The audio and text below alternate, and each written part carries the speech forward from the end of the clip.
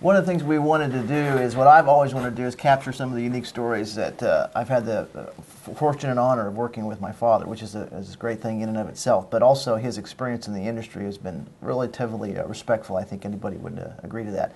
So uh, there's lots of these stories that we want to share with you, and we had a little extra studio time, so we're going to go ahead and dip in and we're going to try one. And one of them is about a guy that I used to have sushi with a lot, named Jay Marshall, and as Joe said, there's so many stories. So I asked Joe just just literally five minutes ago. I put him on the spot. I said, think of a couple stories that you could come up with. And uh, Joe, I'm going to turn it over to you and let you talk about the the guy that we all love, Jay Marshall. Jay Marshall, one of my confidants, one of my best friends. I miss him. It was eight or nine years ago he passed away, but he's le- left a memorable uh, experiences for all of us who knew him. Uh, Jay was the first one who recommended to me to take the Desert Magic Seminar from Wichita, which was started here. It wasn't Desert Magic then, and move it to Las Vegas where all the magicians were. And I said, Jay, that's a good idea. So we did it, and it started, and we, the Desert Magic Seminar ran for 35 years or longer, but thanks to Jay. But the one story, and there are many of them, mm. one story I remember when we did our first magic convention in Wichita, Kansas, it was the Wichita Conclave.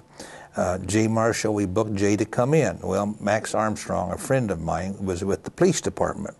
So Max suggested that we do something to really bring Jay in in the right way. I said, What do you want to do? He let's arrest him at the airport.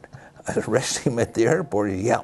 He, Max says, I can get the paddy wagon and some other officer friends to go out there, and when Jay gets off the plane, we'll arrest him and put him in the paddy wagon, wagon and drive him down to the Broadview Hotel. And we won't tell him any different because I won't be there, Max said, and Joe, I won't be here myself. So it was really set up perfect for Jay. So he gets off the plane, he walks out of the gate, and the officer there and says, Sir, you're under arrest. And Jay looks at him and he says, For what? And they said, You're just under arrest, sir. And Jay used that prophetic phrase that everyone uses you got the wrong guy, officer. so they put the handcuffs on Jay, escorted him out of the airport, put him in the paddy wagon, drove him down to the Broadview Hotel, and opened the door and let him out with the handcuffs and Max and I and Martha and all a bunch of us were standing on the curb waiting for him. And Jay gets out and said, Jesus Christ, what kind of a deal is this? And he says, I'm trying to pick these handcuffs on the way in. I couldn't pick them. What a hell of a welcoming you guys gave me.